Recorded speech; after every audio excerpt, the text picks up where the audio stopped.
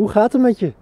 Gaat heel goed, bedankt. Ik, ben, uh, ik heb net gestopt met, uh, met voetbal, dus, uh, maar het gaat heel goed. Een nieuwe carrière nu natuurlijk.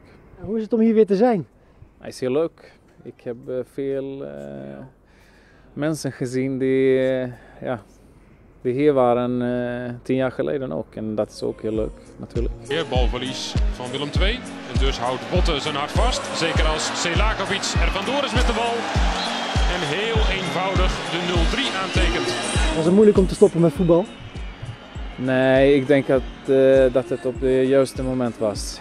Ik was ook uh, een beetje oud en ja, ik wil graag dat mensen mij kunnen herinneren als een goede voetballer. Niet een oude oude speler die niet kan lopen. Het was niet de optie geweest om als makelaar van Larsen op de andere vleugel te acteren hier. nee, nee. Nurmelaar duikt nu op in de punt van de aanval. Daar is Vairunen. 1-2'tje met Jensen, Selakovic en dan is het raak. Is er veel veranderd hier?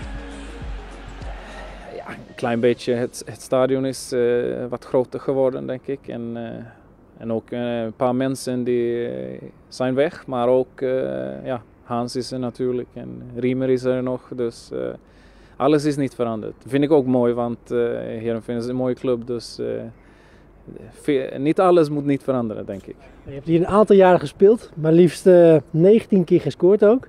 Wat zijn je mooiste doelpunten geweest?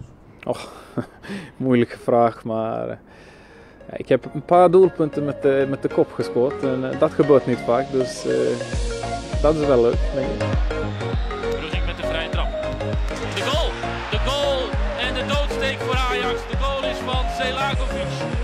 Het is 3-1. Ja, ik heb een heel mooie tijd gehad hier. Die drie jaren was, uh, waren heel goed. En ik heb met veel mooie spelers, goede spelers gespeeld. Uh, toen was ja, Hans uh, was er natuurlijk een team is vandaag de assistentcoach. En ja, Jeffrey Talan, Daniel Jens en Arek Radomski was, het was een mooie tijd.